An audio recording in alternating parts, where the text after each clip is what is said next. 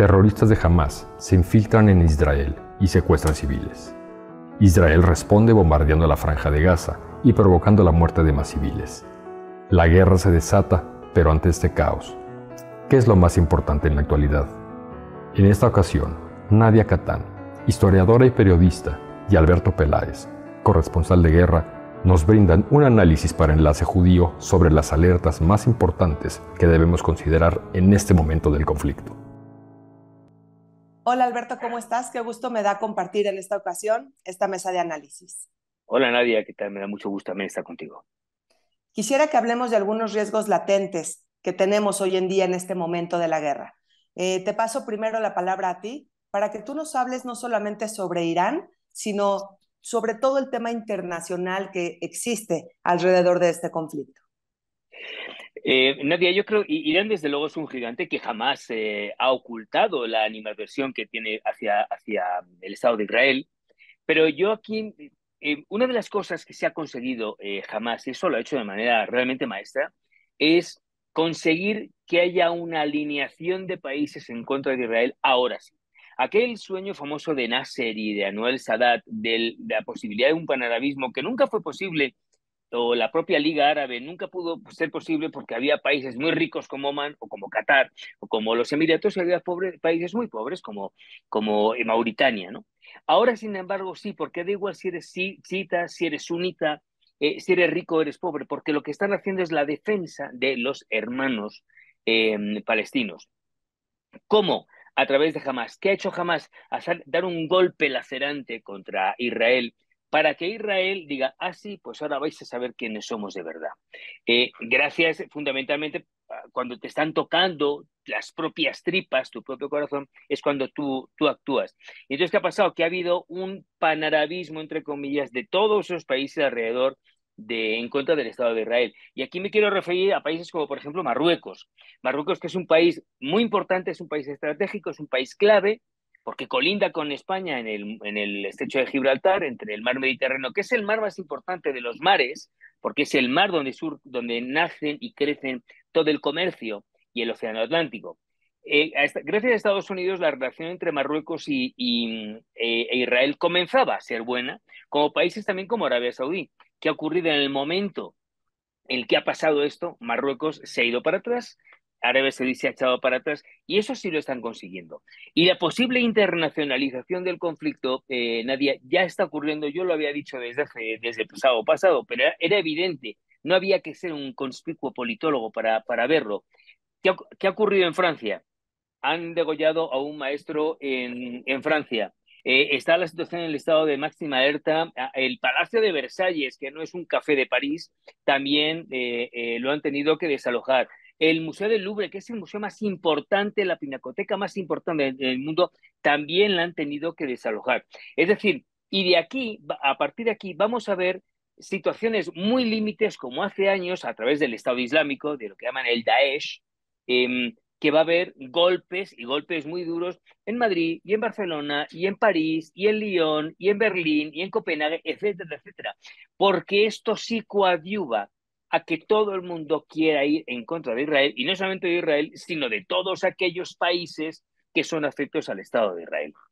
Son muchos temas los preocupantes, Alberto. Gracias por hacernos notar todos los riesgos que hay alrededor, porque sería un error concentrarnos solamente en el Estado de Israel y en Gaza. Pero yo me voy a ir a un riesgo mucho más local, que es la incursión terrestre de los soldados israelíes. No sabemos si se va a dar o no. La gente está concentrada, los soldados están concentrados, que vale la pena mencionar que es gente particularmente joven. Sin embargo, están listos todos para esta orden de Benjamín Netanyahu de entrar en territorio gazatí. Los miedos, Alberto, es que esto sea plan de un eh, pues, programa más importante, un plan más siniestro de jamás, en donde puede ser que en un inicio dijeron, nosotros nos infiltramos, tomamos rehenes, los traemos para Gaza, seguramente los soldados israelíes vendrán en su búsqueda y aquí es cuando ya podremos hacer la estocada final. Me preocupa porque Gaza es pues una ciudad muy poblada, es una ciudad que ahora está hecha un caos, es un laberinto y pues los soldados israelíes incursionando de este modo se ponen definitivamente en riesgo. Además de ello, buscar a los terroristas no será cosa sencilla, ¿estás de acuerdo? A ver, yo, creo que en riesgo están todos, empezando por la propia mm, población civil. Yo he estado en Gaza muchas veces. Es más, yo estuve secuestrado cinco horas en Gaza en el año 2003 cuando pude entrevistar al jeque Ahmed Yassin, que era el líder espiritual de Hamas, y Abdelaziz Rantisi, que era el, su brazo eh, ejecutor político. Eh, Gaza, es, como tú lo has dicho, es un laberinto. Yo conozco muy bien Gaza y la recuerdo muy bien, y es un auténtico laberinto a veces inextricable. Eh, y ese laberinto hay que conocerlo. Hombre, yo quiero pensar que de todos modos la inteligencia israelí, que es realmente es muy sofisticada, eh, va a saber exactamente por dónde tiene que ir. Eso, eso, no, tiene, eso no, es, no es un indicador para que no pueda haber emboscadas, en fin, situaciones muy límites por ambas partes, por ambas partes, porque yo creo que aquí hay que ser muy ecléctico, mi querida Nadia. Eh, en el momento en que entran en Gaza es una guerra abierta, es una guerra urbana, es una guerra de guerrillas. Em, y es el, y es el, el cuerpo a cuerpo. Y aquí realmente el último, el único culpable y de verdad es los niños, las mujeres, los ancianos gazaríes, los niños, los ancianos, las mujeres que están en las ciudades alrededor de, de Gaza, porque lo que vimos el sábado pasado cuando entraban en los kibbutz y cuando entraban en las ciudades aledañas y cuando entraban de aquella manera, eh, en, matando como estaban matando, claro, eso que yo te decía al principio, es Em, el, golpe letal para que la respuesta todavía sea mucho más letal. Y al final, en los periódicos de España y de Francia y de Gran Bretaña y de Holanda, etcétera, etcétera, digan, ven, ven quién era, se dan cuenta ahora quién era el malo. Son los israelíes que tienen eh, cuernos y rabos. Y no es así. Pero es verdad que lo han sabido hacer muy bien. Esto, insisto, creo que es una de las propagandas mejores que han hecho los de Hamas que no creo que hayan sido ellos, porque, en fin, yo te digo, he estado en Gaza muchas veces, en Cisjordania muchas veces, cubriendo intifadas y cuando llegó Arafat, a Jericó, etcétera, etcétera, etcétera, y, en, fin, no es precisamente un cuerpo de élite sofisticado, no, no lo es. Eh, pero han sabido hacer eso muy bien. Y otras muchas cosas. A ver, alguien tendrá que explicarnos cómo meten 5.000 misiles. Alguien tendrá que explicarnos, que, porque además los israelíes conocen perfectamente los túneles que vienen de Jordania, de Egipto, de Siria, de los Altos del Golán, y por ahí han entrado mucho, y armas, y en fin, eso habrá, tendremos que pedir explicaciones de qué ha ocurrido. Y es que nos queda clarísimo que jamás pobre no es, porque con todo el apoyo económico que tiene de Irán, sin duda se ha convertido en una organización sumamente poderosa. Lo mismo que Hezbollah en el norte, que a pesar de que es una eh, organización chií, a diferencia de Hamas, que es suní, pues tenemos también una organización que quiere la destrucción del Estado de Israel y que también cuenta con el apoyo de Irán. Eh, se agradece que los, em, las actividades bélicas hasta ahora hayan sido menores. A mí particularmente me preocupó mucho cuando tres combatientes de Hezbollah murieron en este intercambio de agresión, porque dije, quizá esto va a ser la chispa que eh, pues nos lleve a una escalada mayor. Sin embargo, se han mantenido las proporciones. Israel quiere que así sea, definitivamente no quiere abrir otro frente, pero también Hezbollah está manteniendo proporción. ¿A qué será que debemos esta proporción en el norte de Israel? Bueno, eh, todavía queda lamentablemente mucha guerra, mi querida Nadia, y van a pasar muchas cosas eh, por parte de los grupos terroristas de Hezbollah y de la yihad islámica y, de los hermanos eh, musulmanes y de, fin, tantas cosas, tantos que van a converger en el mismo sitio. Y hay un tema eh, que es importante, Nadia, desde mi punto de vista, que es, em, como tú muy bien dices, em, jamás tiene mucho dinero, tuvo mucho dinero durante muchos años de Irak, eh, ahora lo tiene de Irán, eh, pero jamás no deja de ser, es un poco, a pesar de que se llevaban muy mal, era el hermano menor de, de Al-Fatah. Al-Fatah que era más secular de, de Arafat, em, jamás que es mucho más yihadista. Pero si, si, si miramos hace años, eh, Al-Fatah fue un escenario terrorista y al mismo tiempo un escenario de una enorme corrupción.